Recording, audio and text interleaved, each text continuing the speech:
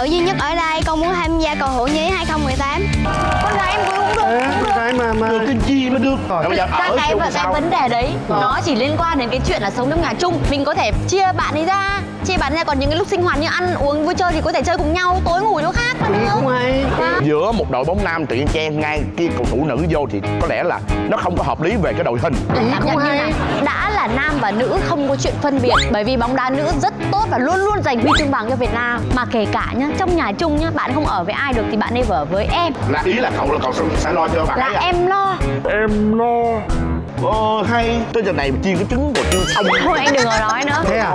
Chiên trứng còn chưa được á trời nhưng nói chung ý kiến của em là em em rất ủng hộ cái việc đấy bởi vì bóng đá nữ từ trước nay chưa được coi trọng nhiều. Mình vẫn sẽ mở một cái cơ hội ra cho bạn đó. Nếu bạn ấy tốt. Nếu bạn ấy tốt thì mình vẫn sẽ chọn vô. Ok nếu bạn ấy tốt nha. Vâng.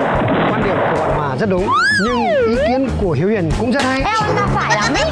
Không thảo mai ấy Cầu thủ nhí lúc 15 giờ thứ bảy hàng tuần trên VTV3.